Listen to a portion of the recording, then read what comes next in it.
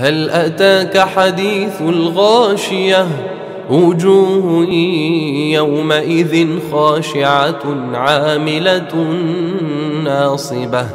تصلى نارا حامية تسقى من عين آنية. ليس لهم طعام إلا من ضريع لا يسمن ولا يغني من جوع.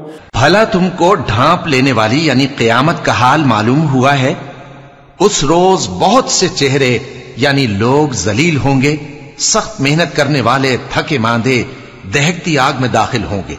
ان کو ایک کھولتے ہوئے چشمے کا پانی پلایا جائے گا، ایک سخت خاردار جھاڑی کے سوا ان کے لیے کوئی کھانا نہیں ہوگا۔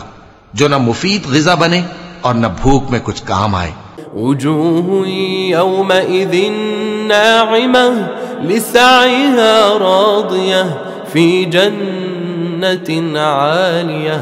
لا تسمع فيها لاغية فيها عين جارية فيها سرر مرفوعة. وأكواب موضوعة ونمارق مصفوفة وزرابي مبثوثة. بہت سے چہرے یعنی لوگ اس روز شادماں بھی ہوں گے.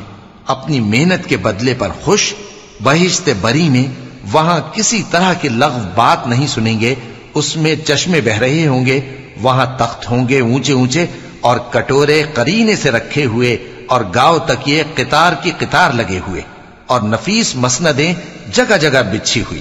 أفلا ينظرون إلى الإبل كيف خلقت وإلى السماء كيف رفعت وإلى الجبال كيف نصبت وإلى الأرض كيف سطحت۔ تو کیا یہ لوگ اونٹوں کی طرف نہیں دیکھتے کہ کیسے عجیب پیدا کیے گئے ہیں؟ اور آسمان کی طرف کہ کیسا بلند کیا گیا ہے اور پہاڑوں کی طرف کہ کس طرح کھڑے کیے گئے ہیں اور زمین کی طرف کہ کس طرح بچھائی گئی۔ فذکر انما انت مذکر لست عليهم بمسيطر إلا من تولى وكفر فيعذبه الله العذاب الأكبر. إن إلينا إيابهم ثم إن علينا حسابهم. پس اے نبی صلی اللہ علیہ وآلہ وسلم تم تو نصیحت کرتے رہو کہ تم نصیحت کرنے والے ہی ہو۔ تم ان پر داروغہ نہیں ہو۔ ہاں جس نے منہ پھیرا اور نہ مانا تو اللہ اس کو بہت بڑا عذاب دے گا۔ بے شک ان کو ہمارے ہی پاس لوٹ کر آنا ہے۔ پھر ہمارے ہی ذمے ان سے حساب لینا ہے۔